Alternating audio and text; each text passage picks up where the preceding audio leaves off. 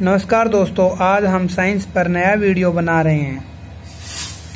Railway की परीक्षाएँ नज़दीक हैं और साइंस बहुत ही महत्वपूर्ण है, इसलिए हम साइंस पर नया वीडियो बना रहे हैं। साइंस साइंस शब्द लैटिन भाषा का शब्द है। लैटिन भाषा प्राचीन अंग्रेज़ी को लैटिन भाषा कहते हैं। साइंस शब्द की उत्पत्ति साइंटिया से हुई है, जिसका अर्थ है नॉलेज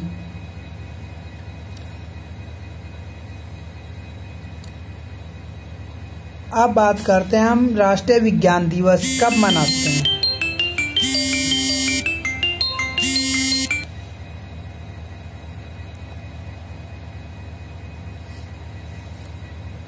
अट्ठाईस फरवरी को हम राष्ट्रीय विज्ञान दिवस मनाते हैं। रमन प्रभाव की खोज 28 फरवरी 1928 को सी वी रमन ने की थी। इसी खोज की याद में हम राष्ट्रीय विज्ञान दिवस 28 फरवरी को मनाते हैं। इसी खोज के लिए भौतिकी का नोबेल पुरस्कार मिला था इन्हें 1930 में। चलिए यहाँ हम थोड़ा आपको नोबेल पुरस्कार के बारे में बताएँगे। देखिए दोस्तों, नोबेल पुरस्कार अल्फ्रेड नोबल की याद में दिए जाते हैं। बात करें इनकी शुरुआत कब हुई 1901 में। प्रारंभ में कितने क्षेत्र में मिलता था? पाँच क्षेत्रों में। लेकिन बात करें वर्तमान में कितने क्षेत्रों में मिलता है? छह क्षेत्रों में। चलिए, अब हम बात करते हैं कि अर्थशास्त्र का नोबेल की घोषणा कब की गई? उन्नीस सौ सड़सठ में की गई। हम आपको बता दें कि अल्फ्रेड नोबल डायनोमाइट का आविष्कार किया था, उसने स्वीडिश वैज्ञानिक थे। अविवाहित थे, इनकी मृत्यु हो गई। मृत्यु हो जाने के बाद जो इनकी संपत्ति से ब्याज आता है, प्रतिवर्ष उसी की याद में नोबेल पुरस्कार दिए जाते हैं। अल्फ्रेड नोबल की याद में दिए जाते हैं। अर्थशास्त्र का पहली बार नोबेल पुरस्कार कब दिया गया? उन्नीस सौ उनहत्तर में। चलिए बात कर रहे हैं, नोबेल पुरस्कार कौन सा देश जारी करता है? स्वीडन। किस स्थान पर दिए जाते हैं? स्टॉकहोम में दिए जाते हैं। स्वीडन की राजधानी स्टॉकहोम में नोबेल पुरस्कार दिए जाते हैं। चलिए अब बात कर रहे हैं, शांति का नोबेल पुरस्कार कौन सा देश जारी करता है? नार्वे। अगर स्थान की बात आए, किस स्थान पर दिए जाते हैं? ओस्लो। नार्वे की राजधानी ओस्लो है।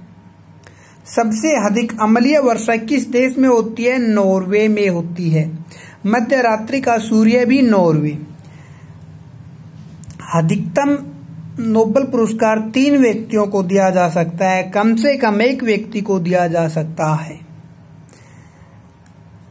चलिए, अब बात कर रहे हैं, हमने नोबल पुरस्कार से तुलना की गई और उसे एशिया का नोबल पुरस्कार कहा गया। एशिया का नोबल पुरस्कार किसे कहा जाता है? रमन मैगसेस पुरस्कार को।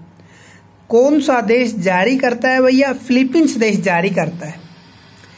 पहला रमन मैगसेस पुरस्कार किसे दिया गया? आचार्य विनोबा भावे को पहला रमन मैगसेस पुरस्कार दिया गया, जिसे एशिया का नोबेल पुरस्कार कहते हैं। जारी करने वाले देश की बात आए तो फिलीपींस। फिलीपींस की राजधानी मनीला है। चलिए अब बात कर रहे हैं विज्ञान की शाखाएँ। विज्ञान की तीन शाखाएँ हैं, भौतिक विज्ञान, रासायनिक विज्ञान, जीव विज्ञान। चलिए भौतिक विज्ञान की बात कर रहे हैं। भौतिक विज्ञान का जनक sir Isaac Newton. Sir Isaac Newton. इन्होंने पुस्तक लिखी थी। उसकी बात कर रहे हैं हम।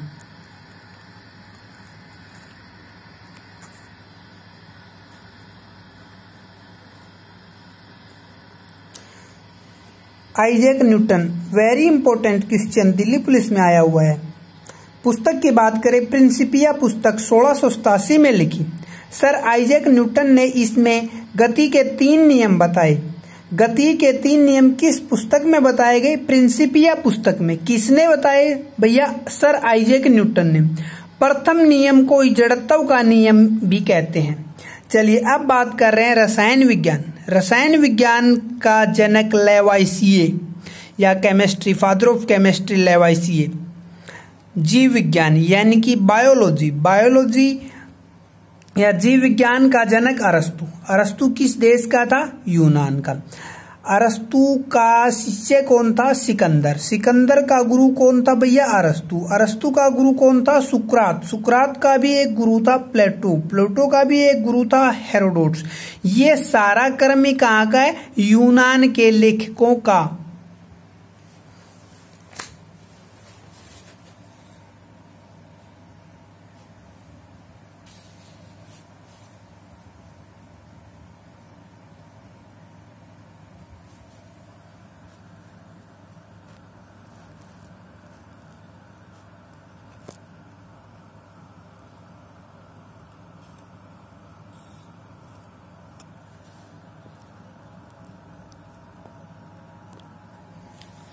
चलिए भैया, अब हम बात करते हैं बायोलॉजी जीव विज्ञान बायोलॉजी बायोलॉजी दो शब्दों से मिलकर बना है।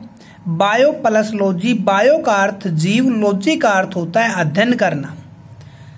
जीव, विज्ञान की वह शाखा जो हमें जीव जंतुओं का अध्ययन कराती है बायोलॉजी कहलाती है। या जीव जंतुओं का, विज्ञान का अध्ययन बायोलॉजी बात कर रहे हैं जीव विज्ञान का जनक, अरस्तु। जीव विज्ञान के जनक की बात आए, अरस्तु। देखिए, जहाँ भी लोजी शब्द आए, लोजी शब्द का अर्थ ही होता है अध्ययन करना। उदाहरण के लिए, कैलोलॉजी। कैलोलॉजी, यानी लॉजी आया हुआ है, कैलोलॉजी, लोजी शब्द का अर्थ अध्ययन, कैलोलॉजी सुंदरता का अध्ययन। अब हम कुछ ऐसे शब्द बोल रहे हैं जिनके अंत में लॉजी आएगा, सोरोलॉजी। छिपकलियों का अध्ययन। सीरोलॉजी एंटीजन व एंटीबॉडीज का अध्ययन। हिमेटोलॉजी रक्त का अध्ययन। सेर सेरोलॉजी छिपकली का अध्ययन। ओनकोलॉजी कैंसर का अध्ययन। यानी लॉजी शब्द का अर्थ ही होता है अध्ययन। चलिए, अब हम बात करते हैं जीव विज्ञान। जीव विज्ञान शब्द का सर्वप्रथम प्रयोग किसने किया? या जीव विज्ञान शब्द सर्वप्रथम किसने बनाया? कब बनाया? बात करें तो 1802 में। किसने बनाया? लैमार्क ने। लैमार्क किस देश का था? फ्रांस का। वंशपति वैज्ञानिक था। ट्यूरेंस ये जर्मनी का था। ये जंतु वैज्ञानिक था। इन दोनों ने मिलकर एक शब्द बनाया, जीव विज्ञान या बायोलॉजी। जीव विज्ञान शब्द किसने गढ़ा? ट्यूरेंस व लैमार्क ने। चलिए, अब बात करते हैं जीव विज्ञान की शाखाएँ। जीव विज्ञान की शाखाएँ। जीव विज्ञान की शाखाएँ वंशपति विज्ञान, यानी कि बॉटनी।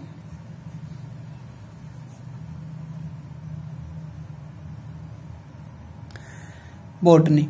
बोटनी ग्रीक भाषा का शब्द है। वनस्पति विज्ञान का जनक थियोफ्रेस्टस।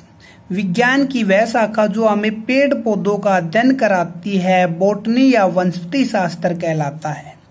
चलिए बात करें जंतु विज्ञान या जूलॉजी। ये भी ग्रीक भाषा का शब्द है। जंतु विज्ञान के जनक की बात करें अरस्तु।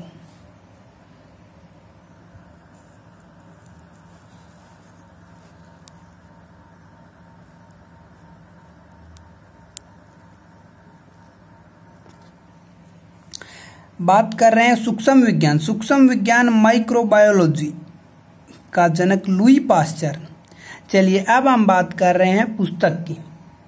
वंशति विज्ञान का जनक थियोफ्रेस्टस को कहा जाता है। चलिए अब बात करते हैं इसकी पुस्तक की। इन्होंने पुस्तक लिखी हिस्टोरिया प्लानेटम। पुस्तक के लेखक कौन है? थियोफ्रेस्टस। किसके बारे में? वंशपति के बारे में। अब बात कर रहे हैं अरस्तु की पुस्तक, हिस्टोरिया एनिमल। पुस्तक के लेखक कौन थे? अरस्तु। अरस्तु ने इस पुस्तक में किसके बारे में बताया है? जंतुओं के बारे में बताया है।